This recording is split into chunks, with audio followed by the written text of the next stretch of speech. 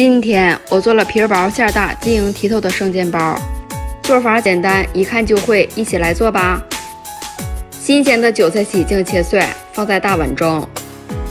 加提前炒好的鸡蛋碎、虾皮、盐、鸡精、五香粉，一勺食用油、蚝油，搅拌均匀，留着备用。昨天晚上吃剩下的饺子皮擀薄，